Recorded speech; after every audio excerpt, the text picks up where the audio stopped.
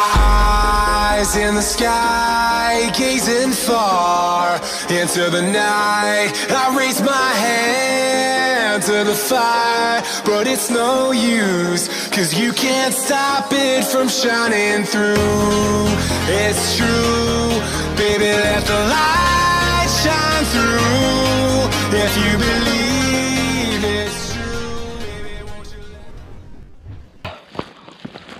tayo sa gilid. Oh. So yung part ito ng uh, dalampasigan ay naaabot na ng tubig tapos yung kulay ng bato niya eh medyo mapupula at basa. So, ibig sabihin pag nag-high tide abot dito ang tubig.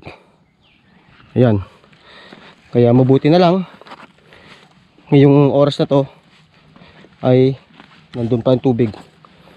So, sa bandang hapon tataas na rin yan. Medyo madudulas ang bato. Kaya dapat talagang ah, mag-ingat sa bawat hakbang. Upang sa ganun ay hindi tayo matapilok mag isa pa naman tayo dito. Dito tayo sa napakagandang ah, beach wall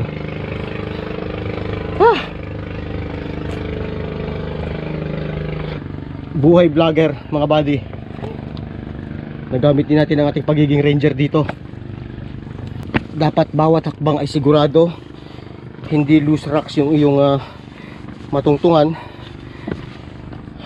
At ito nga ito yung sinasabi na tatawid din natin na wall. Papunta dun sa kabila. So meron doon naninisid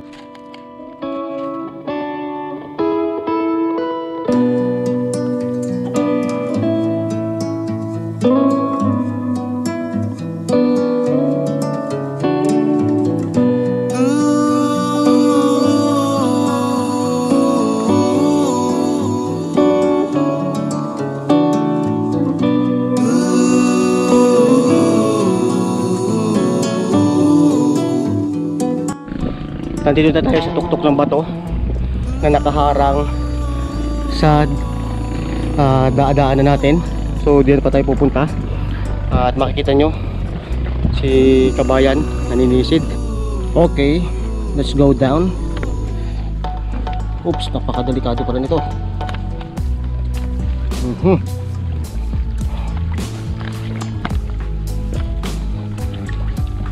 Oh my god. Oops, dito tayo sa kabila. Yan.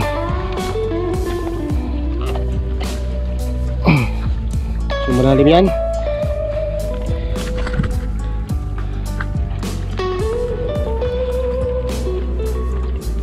Ah, okay. We're safe.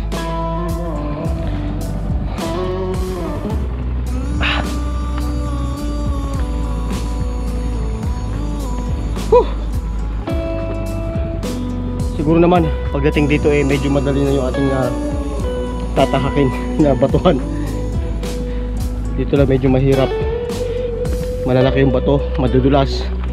Kaya nag-iingat din tayo dahil ah, walang tutulong sa atin dito kundi sarili natin.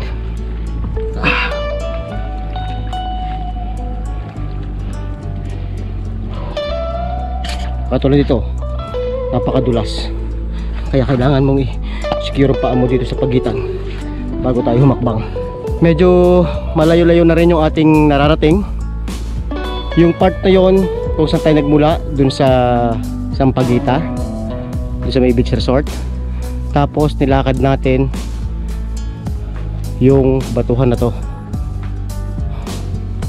Hanggang dito ngayon sa ating pinatatayuan So diretso ang paglalakad. Solo adventure with Dang Supremo. Woo! This is life. Ito na naman yung mamimiss natin pagbalik natin ng Saudi.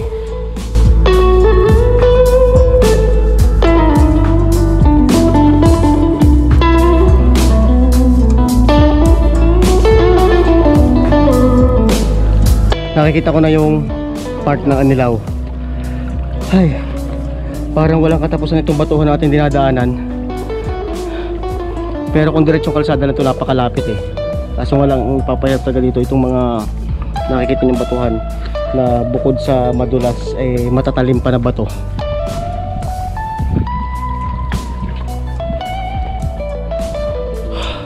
So tingnan natin ito sa part na to.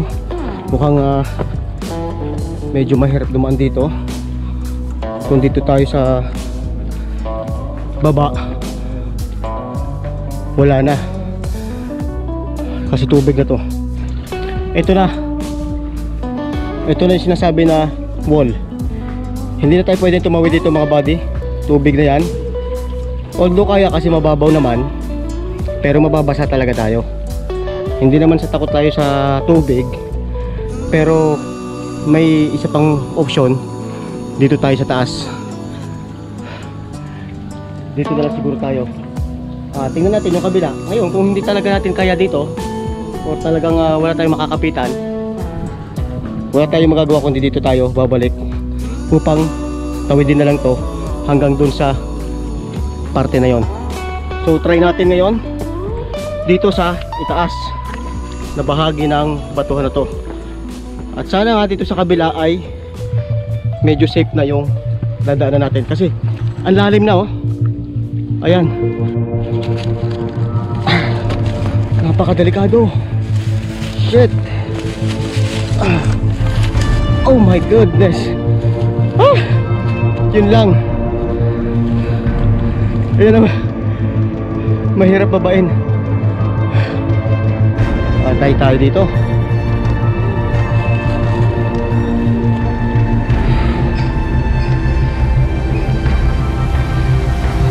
So kaya naman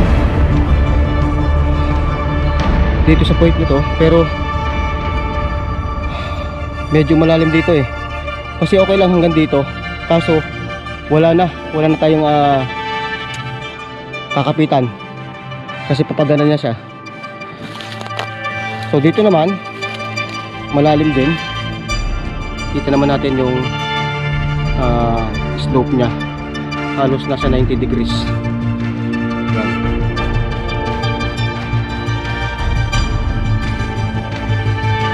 So kailangan maisipin natin yung ating safety. Although pwede natin gawin itong ah, pagtawid dito. Pero napakadelikado. At isa pa mag-isa lang tayo.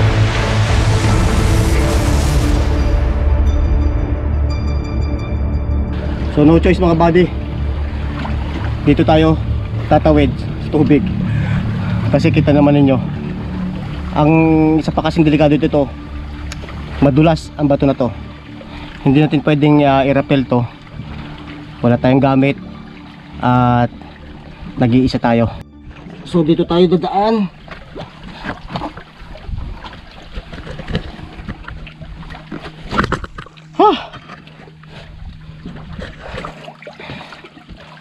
Wala tayong magagawa kundi magbasa ng ating paa. Resumed. Whew. Shit, man. Ang lamig ng tubig.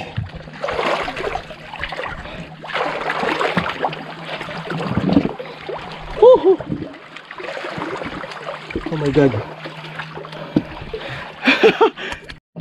Ay, ayan. Lubog tayo sa tubig. Okay, medyo mababaw na naman dito. Kailangan na kumapit. Medyo madulas yung ilalim niya. Pero pagdating naman dito sa unahan, okay na. Naku, mababasa ang cellphone natin.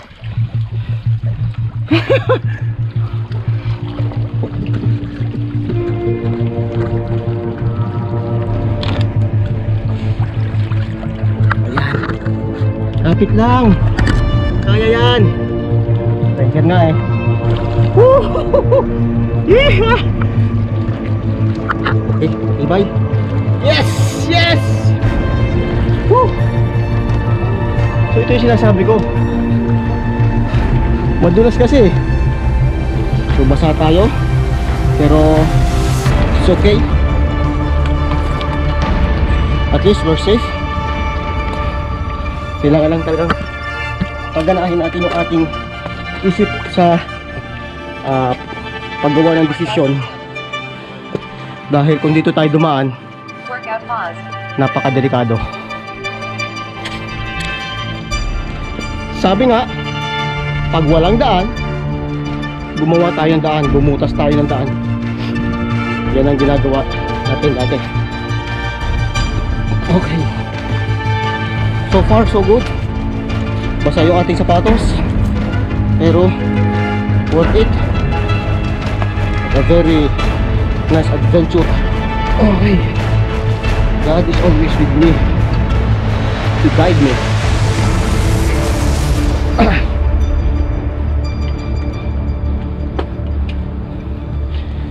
Ay, sana wala na tayong madaanan na ganong ah, terrain. May ikukumpara natin ito sa ating ah, buhay. Itong mga bato na to na naglalakihan ay ang mga obstacle, mga pagsubok na dumarating sa atin. Ngayon, kapag nakita mo sa iyong buhay at may bumulaga sa iyo na ganyang kalaking pagsubok or kagaya niyan ng batong yan, kapag sumuko ka or kapag iniwasan mo, talo ka. Kailangang harapin natin. Kailangang gumawa tayo ng solusyon upang malampasan ang problema or yung obstacle na yan. So kagaya nito, nakaharang kung nandito tayo sa baba mapapansin natin wala na tayong dadaanan. Pero kung gagawa tayo ng ah, daan or maghahanap tayo sa ibang perspective naman nandito sa taas yung solusyon. Ito pa ang isang problema. Mukhang kailangan nating talunin ito mula doon. Pwede rin dito pero mukhang ah, okay na dito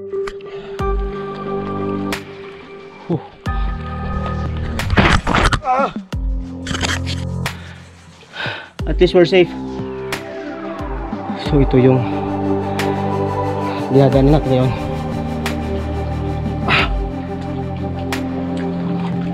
Ah. okay.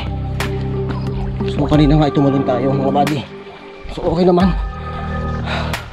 Medyo dumulas lang tayo ng kaunti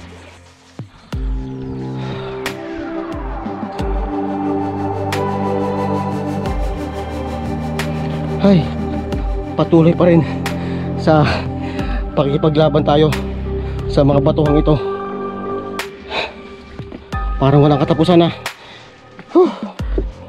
so ang oras ay ah, 9.30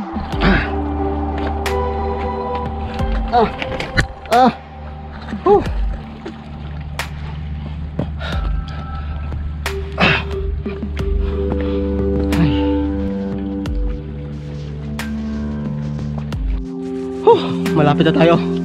Malapit na tayo. So yan ang ating dinaanan. At yung part na to yung anilaw. So tingnan natin kung ah, passable to or kailangan nating dito dumaan sa taas na to. So ito, passable naman siya. Manggigilid lang tayo. Dahan-dahan lang. Okay naman yung bato. Ah, hindi delikado.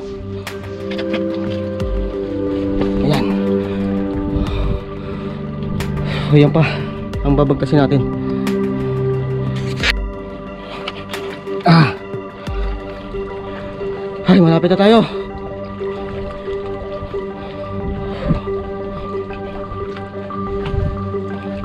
Okay.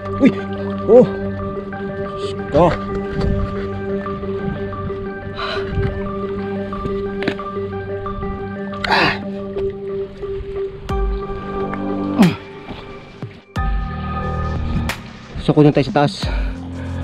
Dead end din siya. Malalim siya. Talagang dito yung uh, the best way. Yan na yung Anilaw Port.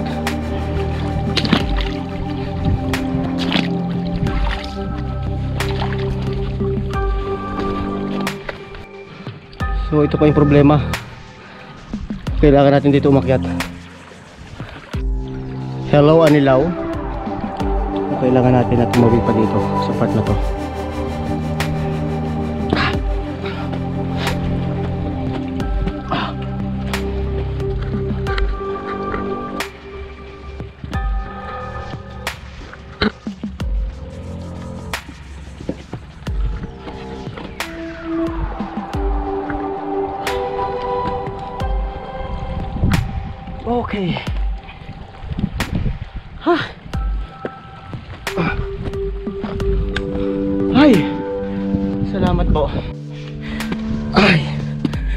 salamat po. So ito na lang ang ating ah, madadaan ng obstacle. Kaso mataas pa rin siya.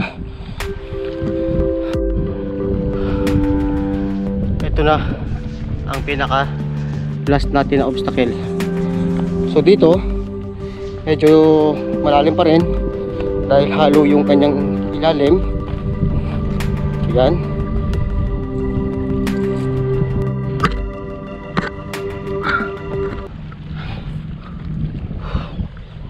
So dito tayo. Bye-bye tubig tayo ngayon. Negative yung ah, dadaanan dun sa kabila.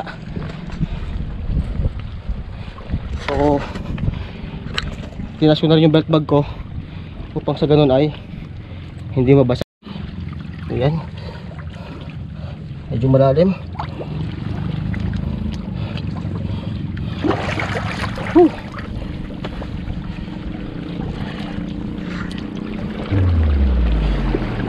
Okay. Eh. Eh. Ah. Ranger, lead the way.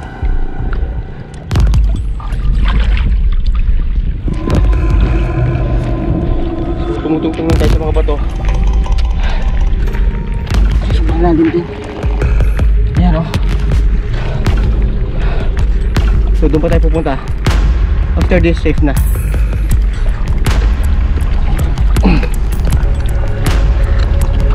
Okay.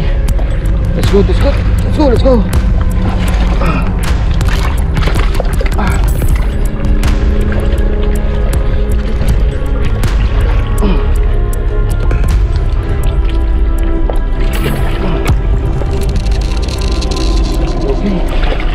Ay.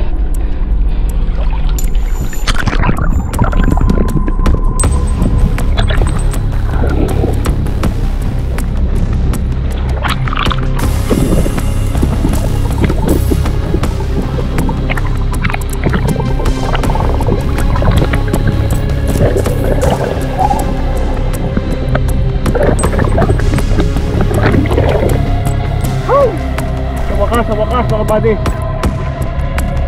Din tayo.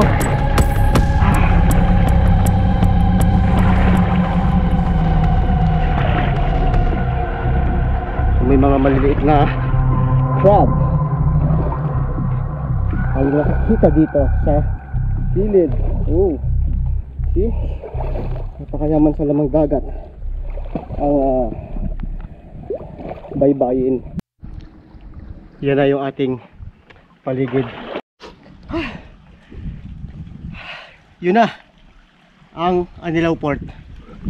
Ito yung famous na rock formation na nakikita natin pag nandun tayo sa mismong ah, pier ng Anilaw. Yan yung San Jose, Majuben, papunta doon sa ah, taas, mga sikat na beach resort, mga diving resort dito sa Mabini. So ito, ito mga lalakihang bato. Hopefully, ito na yung last na obstacle or ng or wall na dadaanan natin. Kasi kita na natin yung shoreline. Ito ata yung bisa or agila. Hindi natin alam. Tingnan natin mamaya. So sana wala nang ah, malaking ah, balakid sa ating dadaanan. Ay, okay. This is it mga buddy, this is it. Woo! Napakasarap sa pakiramdam na matatapos natin itong ating journey sa Patuhan. Dito sa may ah, Barangay Sampaguita, Bawan, papunta dito sa Anilaw. So almost nasa 100 meters na lang yung layo natin sa shoreline ng ah, resort na yon. At banayad na yung ating ginagawang ah, paglakad. Woo! Sa wakas! Woo! Thank you Lord, thank you Lord. Na-overcome natin yung mga pagsubok na dumaan sa atin or yung dinaanan natin.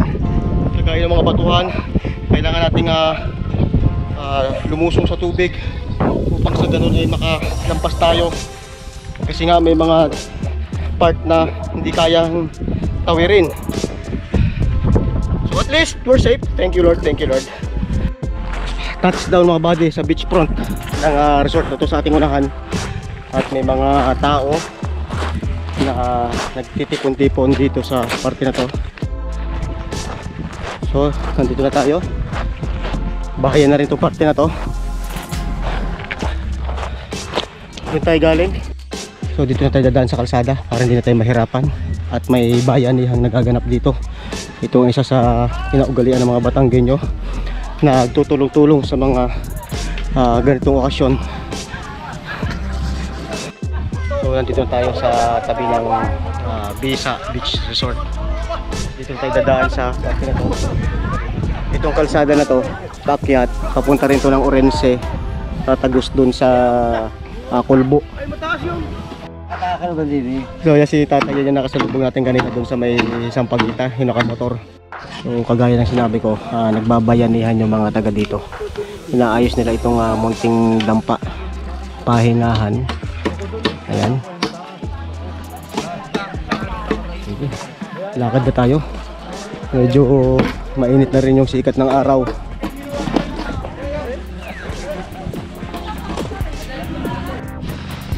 Basa tayong uuwi hanggang Bewang. Hay! Salamat po Lord. At tayo ay nakalampas sa pagsubok na yun. So itong kalsada na ito ay papunta sa uh, Orense Silangan, Magalang-galang Anilaw.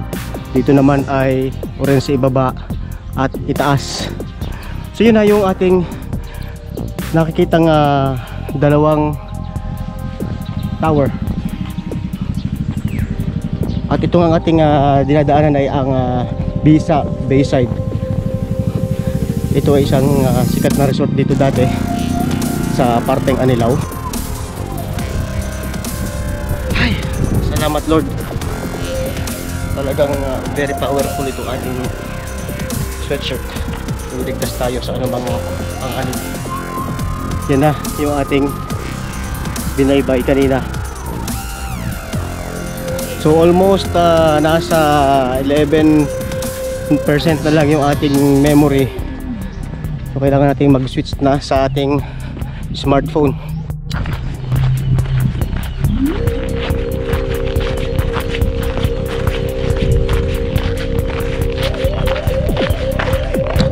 Nandito na tayo ngayon sa kanto ng papuntang San Jose. At dito na natin tatapusin yung ating mga vlog, mga buddy. Ah, hanggang sa muli, ito ang inyong Supremo Vlogs. See you next time. Adios.